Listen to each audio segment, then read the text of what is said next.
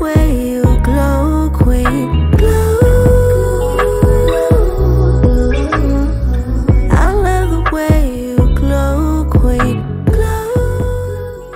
gems, welcome back to my channel. I hope y'all could hear me. I'm speaking a little low because the baby is sleeping, but I just came on here because I was just watching a old video from this time last year. Today is um, Sunday, December 31st, New Year's Eve. What time is it? It's about 11.30 right now. Yeah, it's 11.26. I'm home with my boys like I was last year. But I was just watching a video that I recorded last year that I never posted. And I realized that I brought in the new year last year. No, I brought in 2023 crying and overwhelmed and pretty much just very emotional. I may insert a clip of that video in this video. It's like 19 minutes long, so I'm not gonna put the whole video, but watching that video just kind of put things into perspective for me and made me realize how much I've grown this year and as hard as this year has been for me through healing my traumas and digging deep and facing everything that I need to face, feeling everything that I need to feel, and releasing a whole lot. I've made so much progress and I've grown so much. And I didn't fully realize that until watching that video. I'm not gonna, I'm not gonna cry because like these tears would be like out of, out of gratitude, like just, it would be thankful tears, not really like sad tears. But um, I'm just really I'm just really proud of myself. And I don't say that often to myself or I don't think it as much as I need to think it for myself. But I am really proud of myself because I've accomplished so much. And I don't give myself enough credit I am extremely hard on myself most days and that's why I'm constantly reminding myself to give myself some grace and to be patient. Although these past few months have been difficult for me because this time of year is difficult for me, it it has been so much better than what I was, what it was for me last year. So that alone is growth, you know? Like the hard times were even harder last year. I have managed to find a way to do so much on my own and not on my own you know in in the sense that like i don't get any help but on my own in the sense that like when when there's no one else there i still handle what i need to handle. Even when i get overwhelmed and frustrated like i've been able to do a lot and I'm just proud of myself. I'm so proud of myself. This time last year, I was, I had just reached home from the village and I'm, I'm gonna, yeah, like I said, I'm gonna insert a piece of that clip. But I was so emotional and sad because it was just hitting me that like, I'm a single mother. Like I have to do these things on my own. Um, that this time last year, my oldest son was giving me a hard time like i've even watching that video has even made me realize how much he's grown. And it's just a good reminder to know that things are only getting better you know? Like i've hit my rock bottom already and now things are only getting better. So even the hard times aren't the hardest anymore. Gosh i am not gonna cry. So i just want to say to everyone who is having a hard time or going through it or even feel like they're at their rock bottom right now just know that the only way you can go from here is up. Know that things can only get better.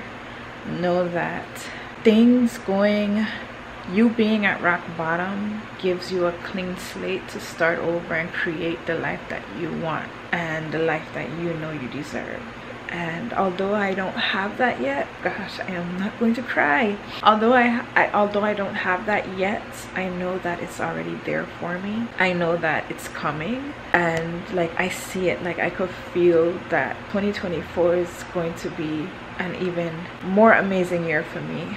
And I'm really looking forward to it. I was talking to my best friend I think last week and I was just telling her about all the things that I really want to embody this coming year this new chronological year because we all know New Year's is in spring. We're not gonna get into that but like for 2024 all I want to do is embody happiness and peace and joy. And not saying that I'm not gonna get my overwhelm not saying that I'm not going to still get overwhelmed and have my moments where I need to cry and release. But in general, I just want to be happy. Not saying that I'm not happy, but I just want happiness. I want to express more gratitude. I want to just attract abundance.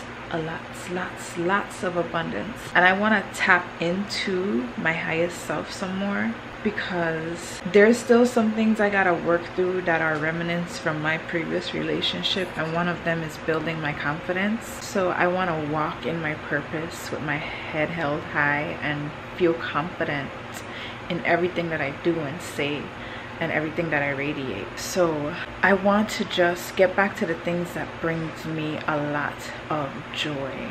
And um, I was telling her when I was my best friend, I was telling her that like I was thinking of what is one thing that I used to do as a child that just used to make me feel happy and free. And that is riding bike in our neighborhood. Growing up, like every Sunday, all of my siblings and our childhood friends, we all just rode bike in our neighborhood, like just speeding down these them neighborhood streets and it was just so much fun and I can't tell you when last I when last I rode a bike but that's something I want to do this year. Like I want to buy me a pedal bike and be riding some bike around the neighborhood. I want to dance more. Dancing brings me joy and I don't do enough of it. And um, I'm definitely traveling more. I already have like four trips planned two of them booked. I definitely want to pour more into my healing work and also my business. And most importantly I want to be more patient more nurturing more calm and just bring more peace into my space especially as a mother to these three boys these three energetic boys. I just want to be better for myself for my children for my family. And I also want to attract more love I do feel myself getting closer to being open to a romantic type of companionship again. And I think 2024 is gonna open that up some more for me in some aspect. Not saying that my goal is to be in a relationship in 2024 i'm not saying that at all. I'm saying that i want to explore it some more. And that's not even my whole list. I'm just like sharing some some of the things that's coming up for me right now but as I look at my vision board right here it's just every day a reminder of what I want to be what I want to attract what I know is out there waiting for me. And I'm just grateful. I'm truly grateful and blessed. And that's it. I don't want to keep rambling and make this video too long but I'm truly grateful. I am home right now. I, I took the boys to a Kwanzaa event tonight and after the Kwanzaa event I was gonna take them to the village but the event didn't finish until like minutes to 10 and um, they were tired they were so tired and I was tired too to be honest so I just came straight home instead and I also wanted to come home because I want to like cleanse my space to bring in 2024 so i'm going to take off my clothes let down my hair light some incense and sage and yeah do some meditating and manifesting and all of that good stuff. I'm not gonna get into details. But my boys are all safe and healthy. I am safe and healthy. And at, at one point that was not a reality for us. So i am truly grateful. I am so grateful. So to everyone watching i'm wishing you all an abundance of happiness joy peace prosperity and everything that you desire in 2024 And I hope that we all find a way to continue to express more gratitude because the universe loves gratitude and what we give is what we receive. So give more gratitude and we'll receive more things to give gratitude for. I hope that makes sense to y'all. Anyways, I am going to, oof, this is so tight in my head. I don't know if I'm still gonna insert that video. I'll see based on, oof, based on how long this video is. I just need to take this out. It's so tight. But tonight I am, um, I am the difference between now and last year how i brought the, the new year's in last year although i was like this home the boys in bed sleeping and i'm up alone last year i was crying on camera and today i'm smiling on camera so that is definitely a big change also i am actually looking forward to spending a quiet evening alone versus last year i was just like i don't want to be alone. Like i don't want to do this by myself. And although i still genuinely don't want to do this by myself i am definitely more content with the reality of my life. And i truly know and believe that everything was stripped from me for a greater reason a greater purpose and to make room for a more abundant a more abundant life for myself and my children. And i see all of those things coming to fruition soon very soon. So i'm grateful. Me being able to stand here and even say that shows my growth because although last year i mentally knew that it was hard for me to accept my reality and understand that like this too shall pass that kind of way. Like when you're in it when you're literally in it it is so hard. It's hard. But once you start getting to the other side you start to see the light you're able to look back and be like wow i've come a long way.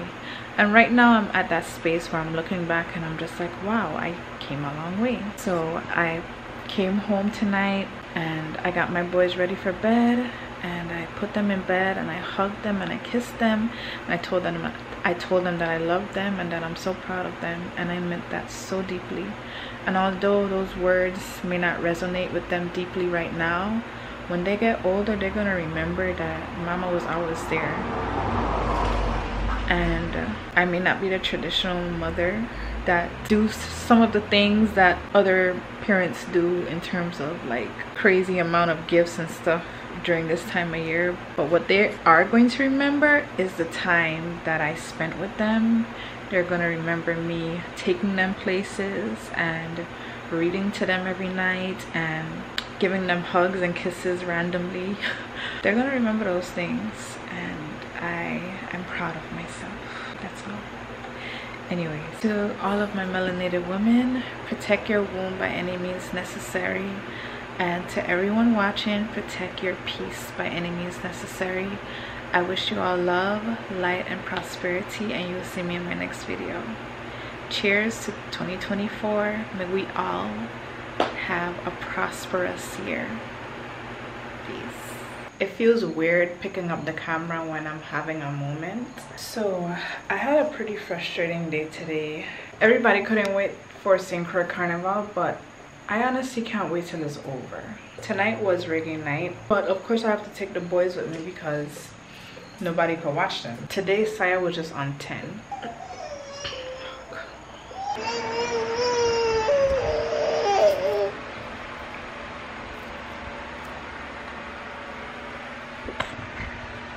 we got down there maybe a little after 9.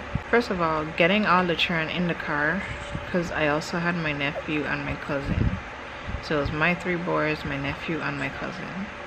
And my cousin is older but she did us she'll be in la la land sometimes. So although she could be a lot of help sometimes she's not. I got so overwhelmed and frustrated because first of all all day saya has been just crying. By the time we got there i went i bought him a toy. I asked him if he want want some more right? He, oh, he said no so I went over by the stage to enjoy the show because Desiree has started performing. As soon as he was done, I ready to go home. When I say the boys start throwing a tantrum, hitting on me and throwing his body on me, and I was just, I was just like, you know what? Let's go. First of all, usually by the time I done going, going, going all day, I'm too tired to go out, which I was tired still, but I really did want to go and enjoy the show so i pushed myself to still go. But by the time i done dealing with these boys all day i'm exhausted. I don't care to go out at night. And then when i when something is going on that i want to go to it's always something as to why either i still can't go or i go and can't stay. So it's like why bother? First of all while i was there like something triggered. I got triggered by us one of the songs that desiree started to perform because is a song that my children's father used to play a lot and sing a lot. I don't know how to explain what I felt. But anyways, on my way home, like I started to get a little teary eye because I don't want to do this shit by myself no more. And it was not, it's not even out of missing him. I just miss the help. Like I miss not having to do shit by myself as it pertains to being a parent. And I don't know how that's gonna come off, but like I be so overwhelmed. I don't know. I don't like I don't even know how to explain like what I'm feeling right now. I am getting emotional and it's just one of the things that happen periodically. Like I can go weeks without feeling over like without feeling this. It hits me like anyways, this is just a little rant video.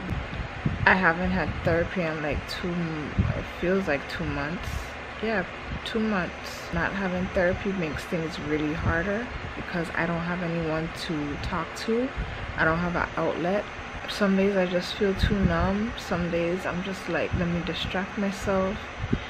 And some days i just let it all out. I literally reached home at 12 12 a.m literally because i was taking out the car i was taking the boys out the car one by one because they were all sleeping as people was busting the gunshot in the air and i just thought i had a moment where i thought to myself like this is really my life.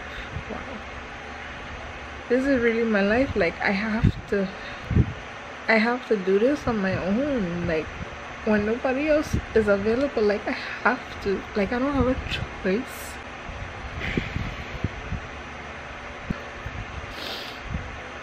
I don't want to saying I don't want to take care of my children.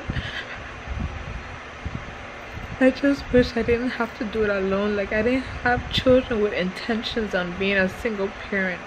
And I'm not saying anybody does that, but I would have never ever in a million years think that this would be my life today. Like I really thought that I picked a good person to procreate with. Like I know I'm a good mother but sometimes I feel like I'm not because of the frustration that I feel. Like when you're frustrated like I'm not frustrated because of the children but I'm frustrated. And then I have to mother I have to nurture I have to take care of them but yet I'm frustrated. So I can't even do that effectively because I have all this frustration going on mentally. I don't know if that makes sense to you but like I don't want to I don't want to do that anymore. Like I don't want to um, be so frustrated when it comes to taking care of my children because they're not the cause of the frustration. Like I just, I want to be patient. I want to be nurturing. I want to be kind. I want to be all the things I was before I became a single mother because I've never had to feel like this when dealing with my children. Like I was always able to be that nurturing, kind, calm parent. Y'all will see me in my next video. I'm gonna call it a night. Peace. Sit on that throne, queen. Know you got that goddess energy. It's in your soul, queen. Manifesting your reality.